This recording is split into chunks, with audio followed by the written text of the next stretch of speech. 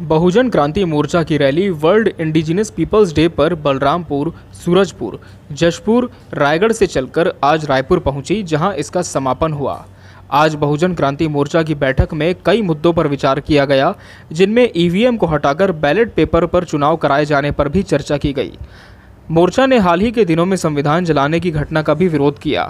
इस आयोजन में परिवर्तन यात्रा के राष्ट्रीय संयोजक वामन मेश्राम भी शामिल हुए। छत्तीसगढ़ राज्य के वर्ल्ड इंडिजिनस पीपुल्स डे के दिवस पर सुदूर छत्तीसगढ़ के बलरामपुर ज़िले से चलकर बलरामपुर, सूरजपुर जिला, अंबिकापुर, जसपुर, रायगढ़ और रायपुर में आज इसका समापन का कार्यक्रम हो रहा है। इस देश में विभिन्न जो विषमतावादी परिस्थितियाँ निर्मित हुई है।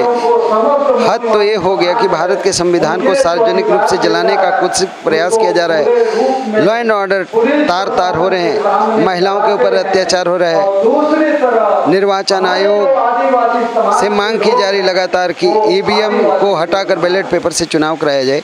इन बातों को लेकर ये परिवर्तन यात्रा छत्तीसगढ़ में और संपूर्ण भारत में चल रहे परिवर्तन यात्रा के राष्ट्रीय संयोजक माननीय वामन मिश्राम साहब के नेतृत्व में चल रहा है और आज इसका यहाँ पे समापन है। और समाज को संदेश देना चाहते हैं कि इस देश में संविधान है, संविधान कानून का स्रोत है, कानून के आधार पर पूरा राज्य और समाज चले।